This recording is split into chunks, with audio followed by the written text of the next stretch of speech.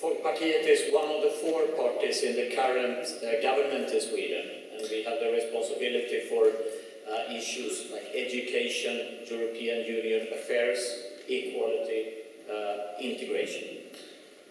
حزب لیبرال یکی از چهار تا حزبی هست که امروز در ائتلاف دولت سوئد شرکت داره و ما در ارتباط با در واقع مسائلی از قبیل در واقع آموزش و جذب در واقع مهاجرین در جامعه و چنین مسائلی فعالیت می‌کنیم And as a liberal party, for us it's important to show international solidarity.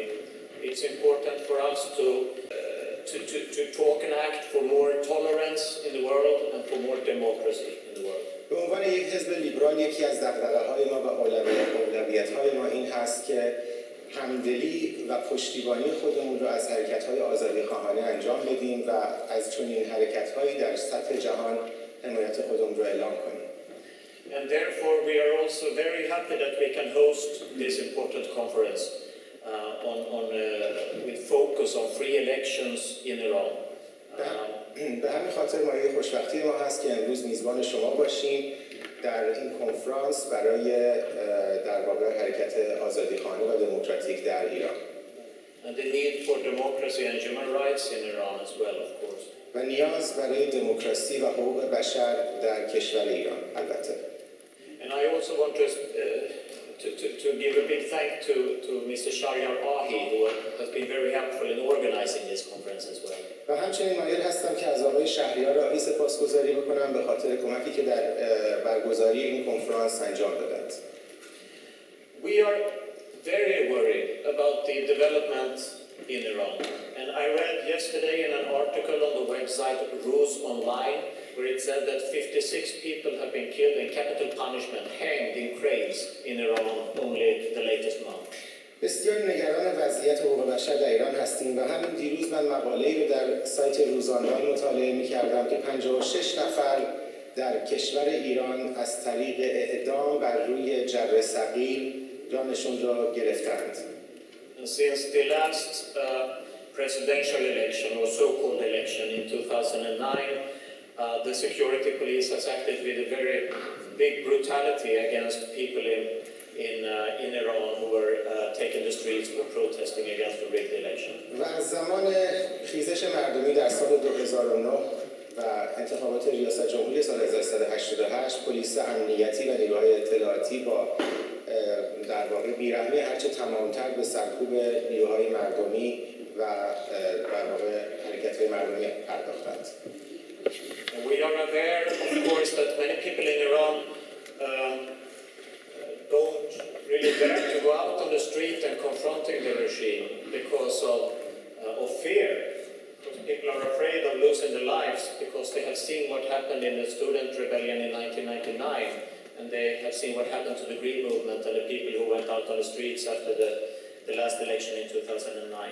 ما امروز میدانیم که مردم در ایران از اینکه مخالفت خودشون در خیابونها نشون بدند دین دارند و حراسناک هستند. به خاطر اینکه با چشم خود دیدند که در جنبش دانشجویی در سال 1999 در سال جنبش دانشجویی چه آمد و همچنین در سال 2009 چه اتفاقی بر سر جنبش سبز در کشور و چه ترتیبی توسط رژیم سرکوب شد؟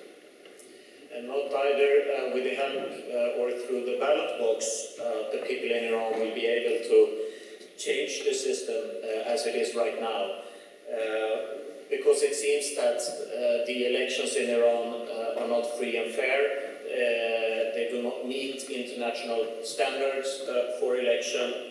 And it seems that the main purpose of the election is more or less to give legitimacy to the system, not to give the people in Iran the possibility to change the system. متاسفانه نمی‌تونیم تغییر رو در شرایط فعلی برای ایران متصور باشیم از طریق صندوق های اخذ رأی به خاطر اینکه در ایران شرایط رأیگیری و انتخابات به هیچ وجه مطابق اصول و استانداردهای بین المللی نیست و بیشتر انتخابات در ایران روندی هست که توسط رژیم برای مشروعیت بخشی به وضعیت کنونی انجام میشه. I think that you are much uh, greater experts on Iran than, than I am. But as a simple member of parliament in, in Sweden, I still uh, have the opinion that, that changes will come to Iran. Uh, most of it because of a quite logic uh, reason. Uh, to me, it seems that the political, social, and economic system in Iran, which uh, the regime is relying on, is not uh, long-term sustainable.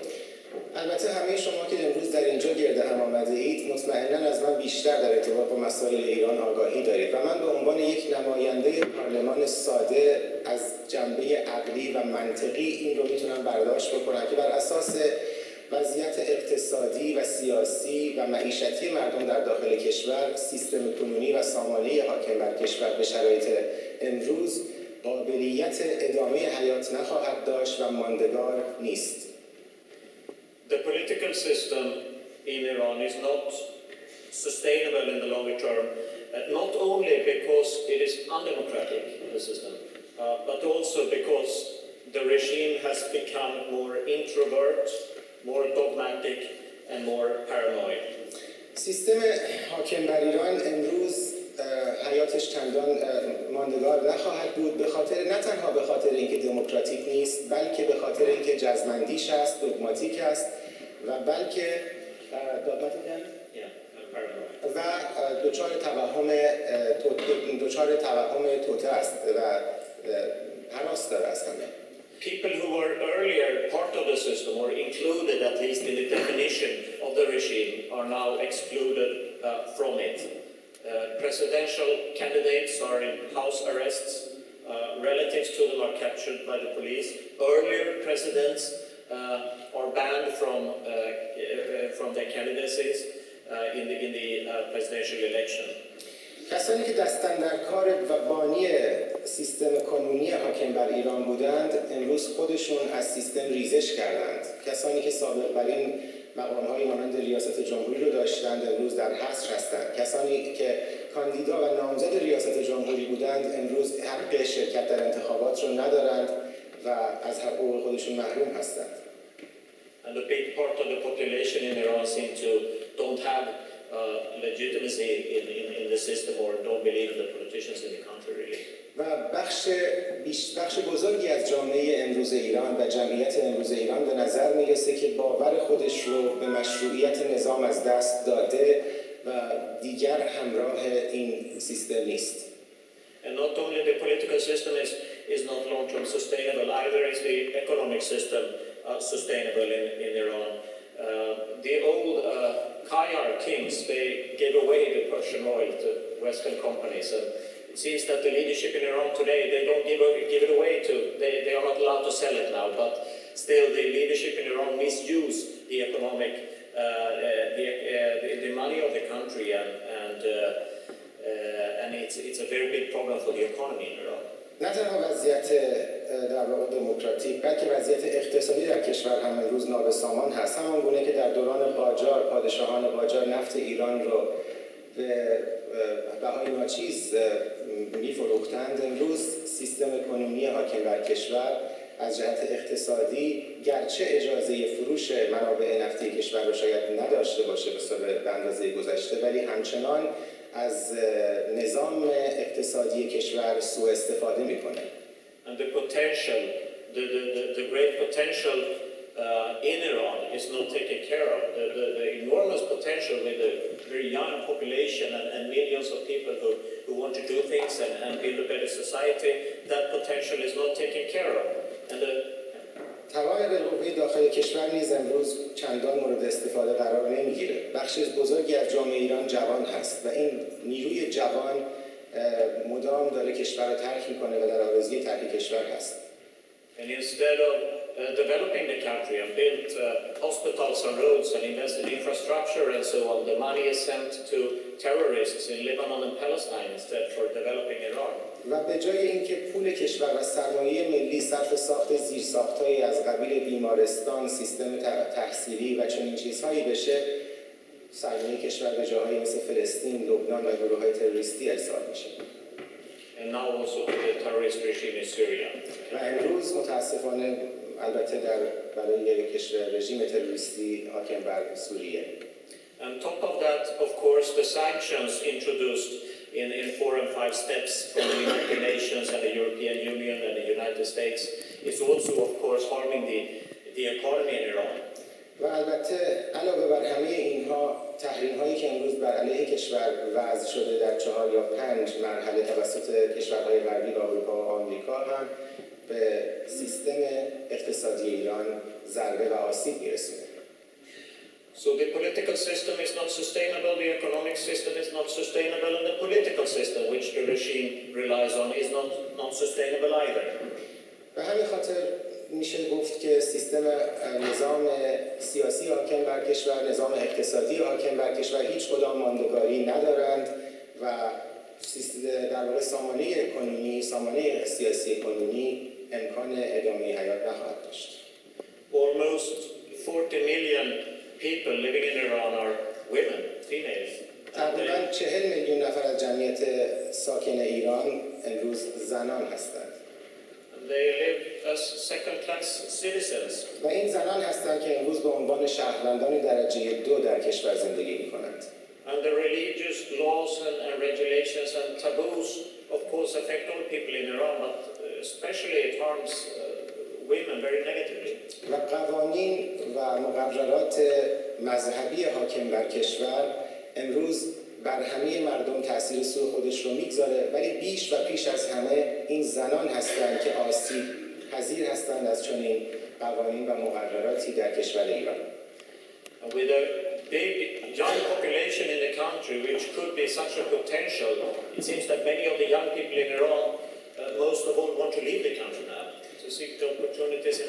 با چنین نیروی جوان و جمعیت جوانی که در کشور وجود داره اینها می‌تونن یک قدرت و یک نقطه مثبت بالقوه‌ای برای سازندگی در ایران باشن ولی به نظر می‌رسه که امروز این جمعیت جوان خواستی جز ترک کشور را نداره And in, in Kurdistan and Balochistan and Azerbaijan and also Kurdistan and other places, many people are are not fully respected for their ethnicity and, and their identity.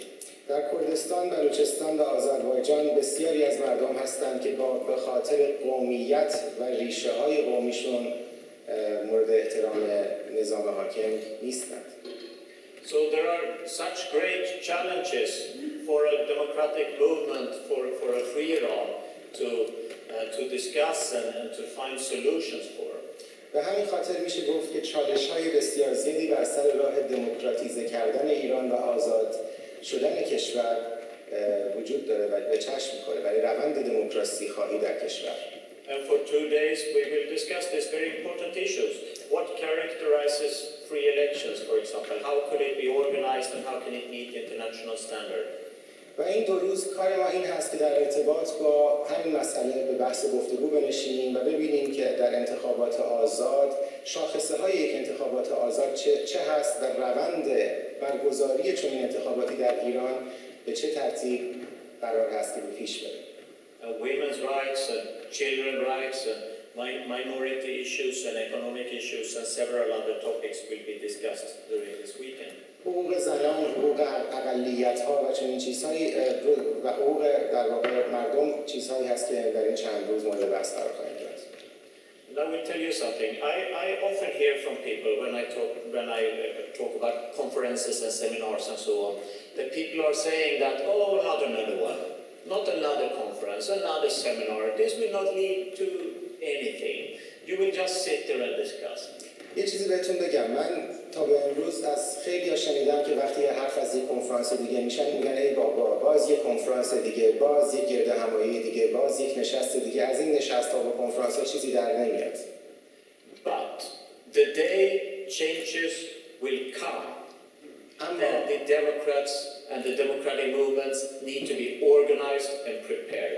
اما این رو مطمئن هستم که تغییر و تحول و روز تغییر در پیش و خواهد رسید و محتومه و روند دموکراسی خواهی و نیروهای دموکراسی خواه میبایست سازماندهی شده و آماده چنین روزی باشند It is impossible to build democracy without Democrats. It's totally impossible.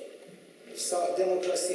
در واقع دموکراسی ساز دموکراتیک سازی بدون وجود دموکرات ها و نیروهای آزادی خواه امکان پذیر نیست And democratic minded people need to meet, to discuss, to change opinions, to settle uh, uh, issues uh, which they don't agree on, to learn to compromise. و کسان و نیروهایی که ذهنیت دموکراتیک دارن میبایست دور هم جمع بشن به بحث و تبادل نظر بپردازند و در ارتباط با اون مسائلی که بر سر اونها توافق ندارند به توافق برسند And a democratic movement which is not united and which is not prepared will very easily be crushed by authoritarian populists, like, for example, Mr. Morsi in Egypt. و روند دموکراسی خواهی و آزادی خواهی که سازماندهی نشده باشه و متحد نباشه و اتحاد درش وجود نداشته باشه این خطر رو داره که در معرض سوء استفاده نیروهای پوپولیست و عوامگرا قرار بگیره و توسط چنین نیروهایی سرکوب بشه و از هم بپاشه همچنان که در کشوری مانند مصر شاهد بودیم توسط آقای مرسی و نیروهای اطراف ایشون اتفاق افتاد. Therefore, this is not just another seminar or conference. This is an important seminar and conference to building bridges between different groups and, and discuss important topics and, and be better prepared uh, for, for a situation which might occur in Iran in a few years from now. از این جهت باید بگم که این کنفرانس و این گرد همایی با مانند گرد همایی های دیگر نیست اهمیت دارد و برای این مقصود انجام می شود که پلی بزند بین نیروهای مختلف ایرانی نیروهای دموکراتیک ایرانی و آماده کنه این نیروها رو و سازماندهی کنه برای دموکراسی و آزادی که در پیشه And I want to send a signal also from a message from, from Sweden, from all the Democrats in, in, in this country to the people inside Iran. و من مایل هستم که اینجا یک پیامی هم از طرف تمام نیروهای آزادیخواه و دموکراتیک در سوئد برای مردم ایران بفرستم. We support your demands for freedom. We support your hard work for democracy and uh, we suffer with you also when we see the, the oppression which, uh, uh, we, which, which you're living under from the regime. ما از خواست شما و تلاش شما برای رسیدن و نیل به آزادی پشتیبانی می‌کنیم و زمانی که سرکوب شما رو می‌بینیم ما نیز عذاب می‌کشیم ما نیز درد می‌کشیم و در کنار شما برای رسیدن به آزادی ایستادیم و پشتیبان شما هستیم. And when we see boys hanging in cranes in Iran, و زمانی که ما پسران رو پسرکان جوان رو می‌بینیم که بر جر ها در ایران آویزان هستند و اعدام شدند when journalists are tortured and opposition figures are, are killed or to go into exile. وقتی می‌بینیم که خبرنگاران شکنجه شدند و نیروهای مخالف اپوزیسیون به تبعید فرستاده شدند when trade unionists are not allowed to bring up important social issues. وقتی انجمن‌ها و اتحادیه‌های اجتماعی و مدنی اجازه تشکیل و حق سازماندهی ندارند در جامعه the rest of the world cannot just stand beside and look and don't do anything. بقیه دنیا فقط نمیتونه بی حرکت بیسته و در سکوت فقط نظارگر این شرایط باشه In Sweden, we have had democracy and freedom for 100 years, and we have not been into war for 200 years. در این kishwar در سوئد 100 سال هست که ما از دموکراسی و آزادی برخوردار هستیم و 200 سال هست که در هیچ جنگی وارد نشده So, uh, if we can give support and show solidarity with people in other parts of the world who are oppressed by the dictatorial regimes, it's important that we do that. اگر که ما قرار هست که در برای مردمان مختلف جهانی که در گرفتار سیستم های تمامیت و استبدادی هستند کمک کنیم و بیستیم می‌تونیم چون این کاری رو باز هم انجام بدیم و برای این قصد دوباره بیستیم So on behalf of Folkpartiet and the Swedish Parliament, I, would like to welcome you here to the Swedish Parliament and to our beautiful country, Sweden. از, از جانب حزب و از جانب پارلمان مجلس و از جانب کشور ورود شما رو به این کشور خیر مقدم عرض می‌کنم And if you have any questions regarding Sweden or Swedish politics or Scandinavia or European Union or anything like that, feel free, don't mind just اگر هر asking me. سوالی در ارتباط با سوئد پارلمان یا سیاست در سوئد یا اسکاندیناوی کشورهای اسکاندیناوی و یا اتحادیه اروپا دارید اینجا در خدمتتون هستم و میتونید مطرح کنید Thank you very much. Umid Varam Piroz Bashi.